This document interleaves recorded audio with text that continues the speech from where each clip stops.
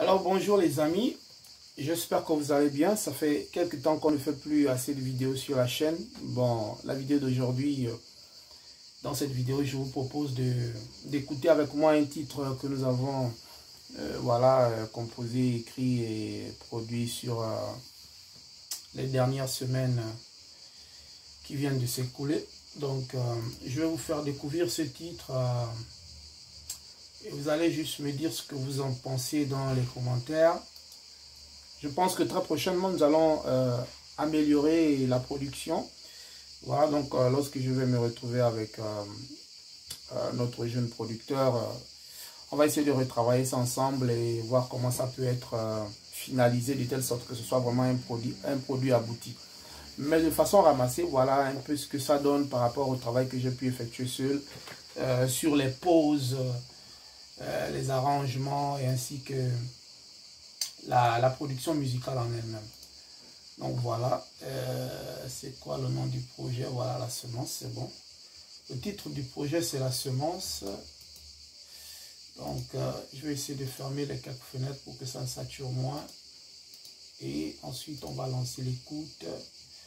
Voilà, vous allez me dire ce que vous en pensez. C'est très belle production, d'ailleurs très intéressant comme travail, je pense, pour euh, un producteur débutant comme moi. Voilà. Donc, euh, c'est quoi là C'est quoi Pourquoi ça traîne? Je vais essayer de remettre au début, ensuite play.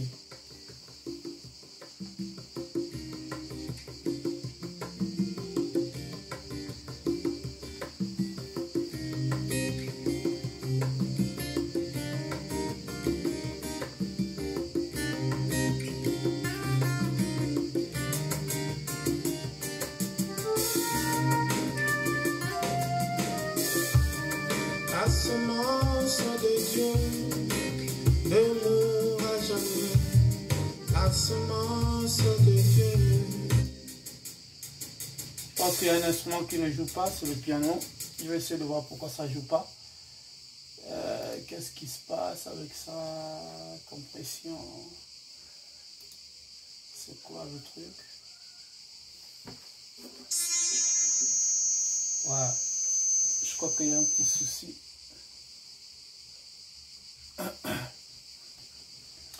On va essayer de voir c'est quoi le souci. Je pense que c'est au niveau du plug, il y a certainement un instrument qui, s'est interchangé parce que des fois, il arrive que lorsqu'on fait un travail, bah, après, avec tous les chamboulements qu'il y a, bah, les instruments peuvent s'interchanger à l'intérieur. Ça arrive. Ça arrive plusieurs fois. Donc là, ce que je vais faire, c'est essayer de changer simplement l'instrument depuis depuis l'origine ici et mettre euh, un piano d'origine. Parce que là, j'avais joué ça sur euh, un piano Analog Lab. Donc, c'est un plugin à ajouter. Je vais revenir ici et mettre play. Voilà. Bah non, ça ne joue pas. Ouais, c'est bon, ça joue.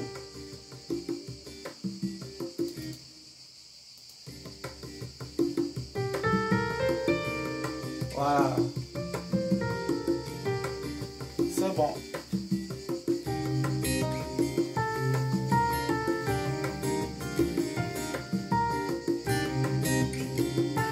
Donc juste signaler que le logiciel c'est GarageBand, c'est un logiciel qui vient par défaut dans Mac, euh, dans les ordinateurs Apple, donc Mac. Euh, voilà, si je me suis pris récemment un Mac, un iMac M2. Et donc à l'intérieur, vous avez le logiciel GarageBand. Mais bon, je me suis rendu compte après que GarageBand, c'est vraiment une version pour les débutants.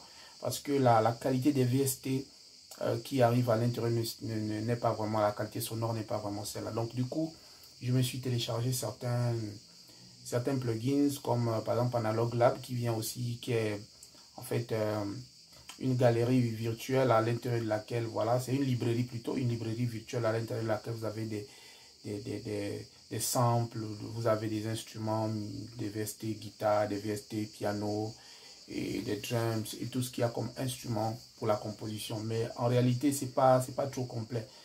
Du coup, euh, je pense qu'on va essayer de compléter, ou plutôt, ce que je suis en train de le préparer à faire, c'est de partir de GarageBand pour euh, euh, n'est-ce pas, aboutir sur, euh, comment il s'appelle, le logiciel avancé. Parce que GarageBand, c'est juste pour l'entrée de gamme, mais il y a Logic Pro, voilà. Donc c'est Logic Pro qu'on va, on va désormais travailler avec Logic Pro pour pouvoir faire avancer les choses. C'est-à-dire que à partir du travail que je fais actuellement, je me suis rendu compte de ça, c'est que Logic Pro, c'est en fait la version avancée de GarageBand, selon ce, qui est dit lors des, des cours que je prends sur euh, GarageBand. Donc, je me suis rendu compte que tous les plugs, euh, les plugins qui viennent avec euh, GarageBand sont en version professionnelle dans Logic Pro. Donc, c'est nécessairement, on te donne un, logiciel d'entrée pour pouvoir te permettre, ou plutôt pour te pousser à acheter un logiciel professionnel. Donc, c'est un peu ce qu'ils font.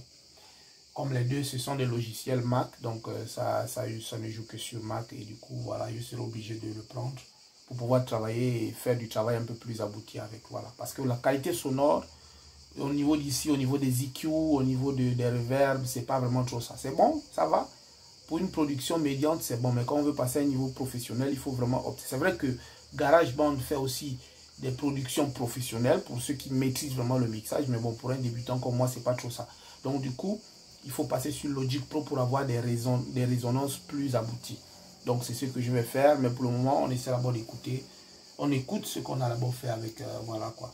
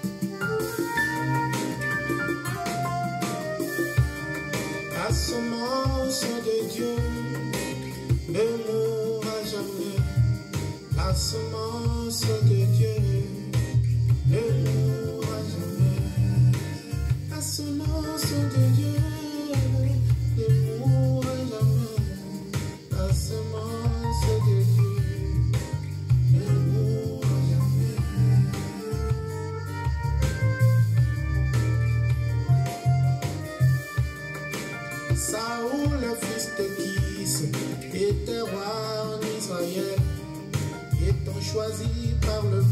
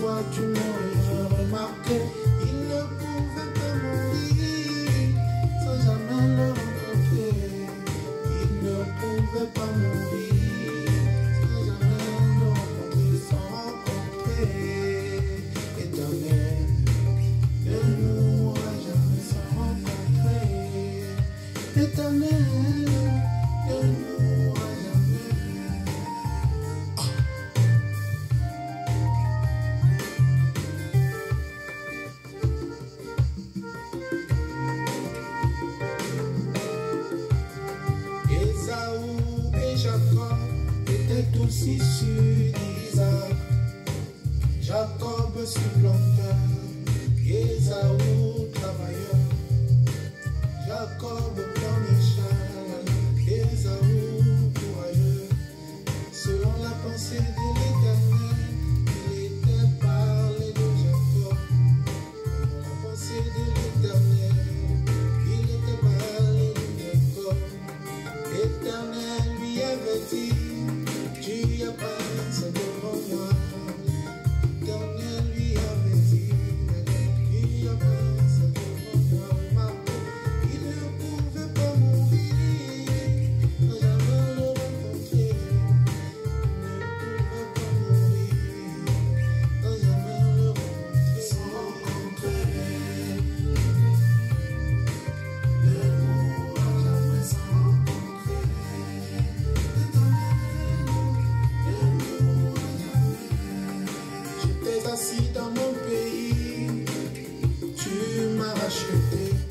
voilà un peu ce que ça donne en termes de qualité sonore. Voilà, je sais que c'est pas très professionnel, mais pour un début, je pense que, bon, par rapport à ce que j'ai fait précédemment, par rapport aux travaux que individuellement, personnellement, j'ai mixé, personnellement, j'ai travaillé les pauses, les arrangements du début à la fin, je pense qu'il y a une nette amélioration. Et si je passais sur une version beaucoup plus aboutie, je pense que les rendus seront mieux que, que ça. Voilà.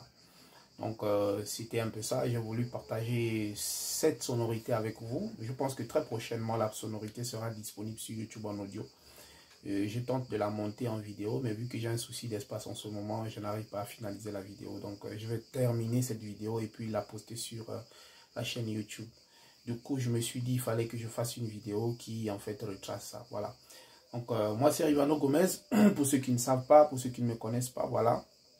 Je vous invite à vous abonner à ma chaîne, à liker, à laisser quelques commentaires, voilà, à me donner aussi vos impressions, qu'est-ce que vous pensez de ce travail. Et parce qu'en fait, actuellement, je suis en train de préparer la sortie d'un nouvel, euh, euh nouveau single. Euh, peut-être ce sera un album, peut-être ce sera un EP, je ne sais pas encore. Ça dépendra du nombre de titres que j'aurai de disponibles et des moyens que j'aurai à disponibilité pour pouvoir faire la promotion de ce projet et aussi organiser des événements comme des concerts, des sorties et ainsi de suite.